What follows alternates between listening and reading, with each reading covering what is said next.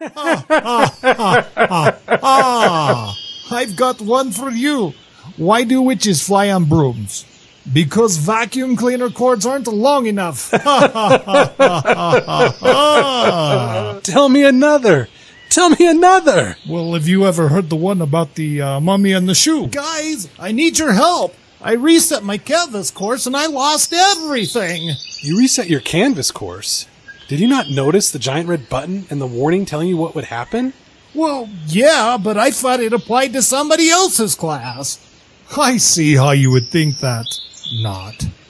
Let me fix it for you. Okay, so we've been contacted by the instructor, and he's told us that all of his stuff has disappeared in his class, including his grades and his students. So now we have to take the time to chastise him. Once we've sufficiently chastised the instructor, it's time for us to start work. So we need to start doing some forensics. The first thing we need to do is pay attention to what the course number is of the current course we're working in, which is 3337. So we're going to take that and make a little note. 3337. Excellent. Now, we need to determine what the course number was for the old course. So we're going to go into the instructor's activity log.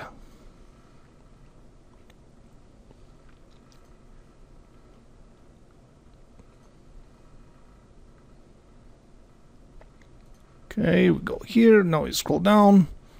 Okay.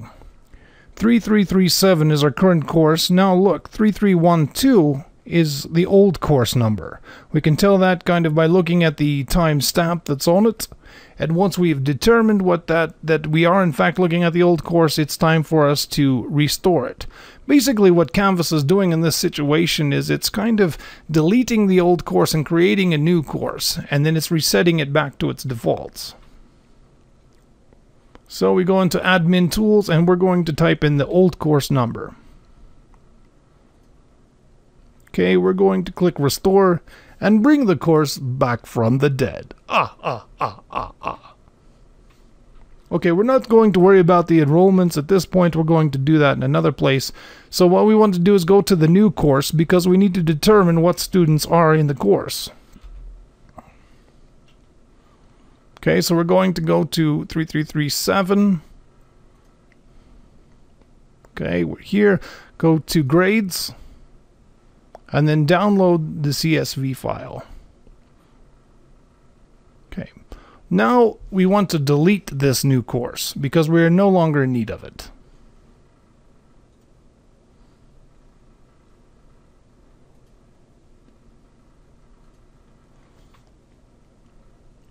Okay, now that it's been deleted, we can open up the CSV file that we downloaded.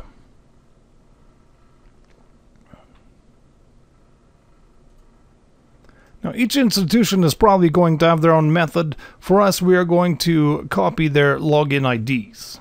So we select them all. Yes, this course has a low enrollment, but hey, it's a summer class and it's just a little short thing.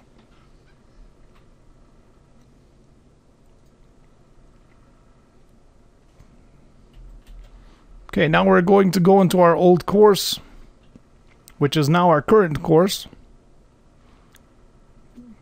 Go to people, add people, we'll add the students. Very good. Now the next thing we'll do is not forget to add the instructor. Hopefully this time he's learned his lesson.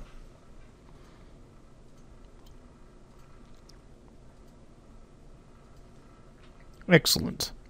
So now we want to publish the course.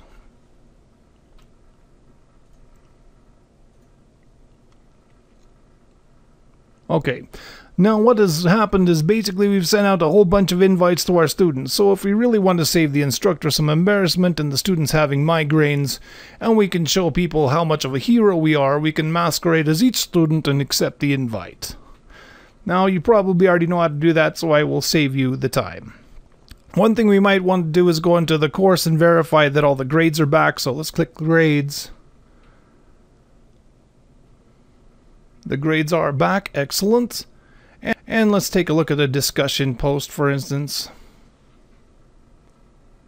Alright, let's see what scares you the most.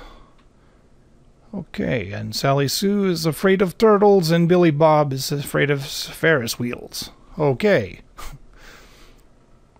So it looks like all of our content is back. Now it's time for us to go ahead and leave our office, get a cup of coffee, and feel awesome about ourselves because we've done something that Canvas said was impossible. Ah, ah, ah, ah.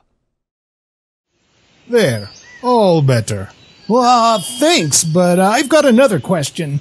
Why is my canvas interface in Chinese? Wah, wah, wah.